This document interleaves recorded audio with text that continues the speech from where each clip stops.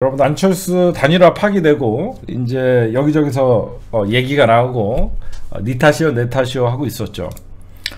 어, 이제 우리는 안철수에게 물어봐야 돼요. 뭘 물어볼 것이냐. 결국은 안철수는 윤석열과 함께 정권 교체를 외쳤었죠 처음에. 잘 생각해 보시면 그렇잖아요. 윤석열이랑 계속 뭐 단일화 얘기 꺼내면서 이번에는 정권 교체해야 됩니다. 뭐 이렇게 하면서 계속 떠들었죠. 근데 안철수가 결국은 윤석열과의 단일화 결렬을 선언했죠. 그러고 나서 이재명 후보에게 정, 정, 통합정부 제안을 했었죠. 결국 이재명 후보는 발빠르게 민주당에게 요구를 했고 민주당은 의총을 열어서 정치 개혁 연대한다 라고 못을 박았죠. 지금은 여러분들 어때요? 그러니까 안철수는 자기가 주장했던 양당 기득권 체제를 타파하기 위해서 어, 정치 개혁을 제안한다라고 얘기를 했습니다. 그거에 상응하는 이재명 후보는 발빠르게 의총을 열어서 정치 개혁을 선언하는 걸 어, 당론으로 명문화 시켰습니다. 이제는 안철수는 선택을 해야죠. 정권 교체에 윤석열에게 힘을 실어줄 것이냐, 본인이 원했던 원했던 정치 개혁에 힘을 실을 것이냐. 정치 교체냐? 안철수는 늘 정치 교체해야 된다고 얘기했어요. 양당 기득권 체제 무너뜨려야 된다. 이 당이 잘못하면 이 당이 먹고, 이 당이 잘못하면 이 당이 먹고. 저도 이거는 잘못했다고 생각해요. 왜? 민주, 민주당이 쭉 먹어야 돼요. 음. 민주당이 쭉 먹어야지 대한민국은 바뀝니다. 그게 무슨 말이냐? 국민의힘이 적어도 대한민국에서 없어져야지 진짜 보수가 민주당이 되고 새로운 정치 세력들이 나오는 거예요. 안철수는 정말 바보 같아요. 왜 바보 같냐? 왜 양당 기득권 체제가 대한민국에서 이루어질 수밖에 없는 상황을 인식을 해야 돼요. 저는 왜 안철수가 멍청하다고 생각하냐면 안철수는 민주당과 국민의힘을 양비론으로 같이 비, 같이 비판하죠. 정확한 역사의식과 정확한 시각을 보면요. 왜 우리 대한민국에서 특히 민주진영이라고 하는 사람들은 왜 민주당을 지지하는지를 생각을 해야죠. 국민의힘이 가짜의 보수의 탈을 쓰고 있기 때문에 한 치 앞도 대한민국의 미래에 대해서 걱정 안 하고 자기네들의 이익을 위해서 사는 인간들이기 때문에 많은 이성적인 시민들은 민주당을 지지할 수밖에 없는 거예요. 그럼 누굴 비판해야 돼요? 국민의힘 해체를 주장했어야죠. 정확히 안철수가 이번 대선에서 정치 개혁을 하기 위해서는 국민의힘 해체를 주장하고 나머지 세력과 정치 연대를 통해서 민주당이 실질적인 정치 개혁의 선도지자로서 보수로 자리 잡고 그 다음에 국민의힘이 아직도 보수의 탈을 쓰고 있으니까 진짜 보수 정당인 민주당이 자기가 진보 정당의 위치에 있는 거죠. 제말 여러분들 이해 가시죠? 국민의힘이 없어져야지 정치 개혁이 이루어지는 거예요. 국민의힘이 살아있는 한 대한민국은 정치 개혁이 일어날 수가 없어요. 이거는 불변의 진리입니다.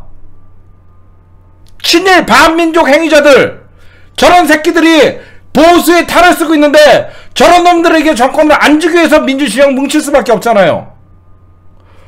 안철수가 정확한 정치 신념을 가지고 있으려면 국민의힘 해체를 외치고 국민의힘 해체가 된 이후에 민주당이 기득권 정당으로서 비판을 받고 보수로서의 심판을 받는 새로운 정치 안철수뿐만 아니라 김동연뿐만 아니라 심상정뿐만 아니라 새로운 정치 대안 세력들이 진보 정당이 나올 때 이게 대한민국이 제대로 가는 거죠. 응? 안철수는 헛다리 짚은 거죠. 무조건 양당 기득권 체제. 왜 양당 기득권 체제가 대한민국에 있을 수밖에 없는 역사적 진실과 사실을 외면한 거예요.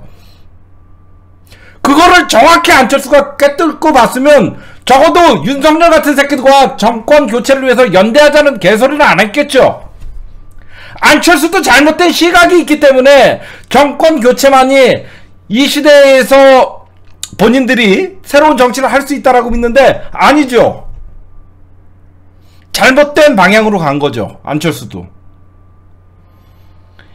이번에 안철수가 정말로 정치적으로 본인의 미래에 어떤 정치를 하고 싶은 것을 하고 싶다 그러면 새로운 정치를 정말로 안철수가 하고 싶다 그러면 국민의힘 해체를 주장했어야죠.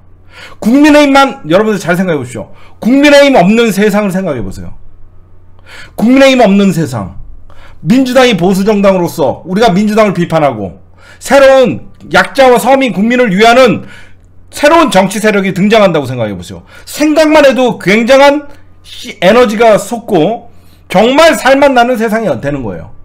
왜 대한민국이 양당 체제의 기득권 체제인지 이거부터 비판하는 안철수의 모습을 보여주지 못한 것에 대해서는 안철수는 정치 10년 헛한 거예요. 제가 볼 땐 그래요. 안철수는 10년 동안 정치를 했다고 하는데 10년 동안 느낀 게 아무것도 없는 거예요. 기득권 세력들과 또다시 안철수가 만약에 윤석열 손들어줘갖고 정권 교체한다고 합시다. 민주당이 죽습니까? 더 민주당과 민주 세력들은 결집해갖고 저 국민의힘을 더 비판하고 더 끌어안치려고 할 거 아니에요. 아니죠.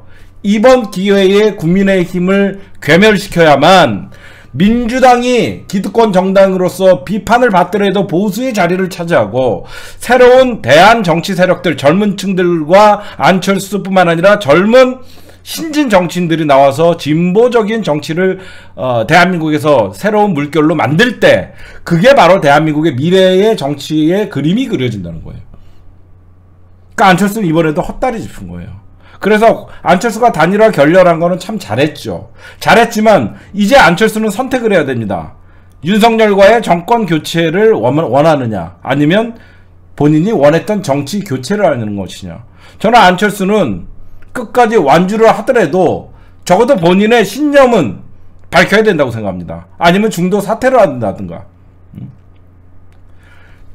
윤석열의 정치 교체는 인정할 수 없다. 나는 이재명 후보를 믿고 정치 교체를 선택하겠다. 라고 안철수는 한마디라도 해주고 안철수가 이번 대선에서 사실상 사퇴를 한다 그러면 안철수는 미래의 정치가의 힘, 다음 정치가 있는 거예요. 응? 이제는 안철수의 정치 개혁을 이재명 후보가 받았으니까 안철수도 그에 대한 화답을 해야 될 시간이 왔다. 언제까지 안철수는 말로는 정치 개혁한다 그래놓고 기득권 세력이었던 어? 국민의힘의 윤석열과 정치 교 정권 교체를 외쳤던 안철수 말 자체가 앞뒤에 모순이잖아요. 그렇죠? 안철수 말 자체가 모순이잖아요. 응? 정권 교체 국민의힘과 손잡고 정권 교체하면 그게 정치 교체입니까? 적폐의 부활이죠. 저는 이제는 안철수가 답해라. 본인이 원하는 건 진짜 정치 교체냐, 적폐 교체냐, 그거에 대해서 답할 때이다. 이런 말씀을 좀 드리고 싶습니다. 안철수는 10년 동안 헛겁이었어요. 왜 대한민국이 그놈의 양당 기득권 입만 벌리면 양당 기득권 체제, 양당 기득권 체제 비판하는데 왜 대한민국이 양당 기득권 체제가 무너지지 않는지를 먼저 생각을 했다 그러면 안철수는 윤석열과 연대나 단일화 얘기는 하지 않았을 것이다. 10년 허송세를 보냈다 안철수 그 말씀 드리고 싶습니다.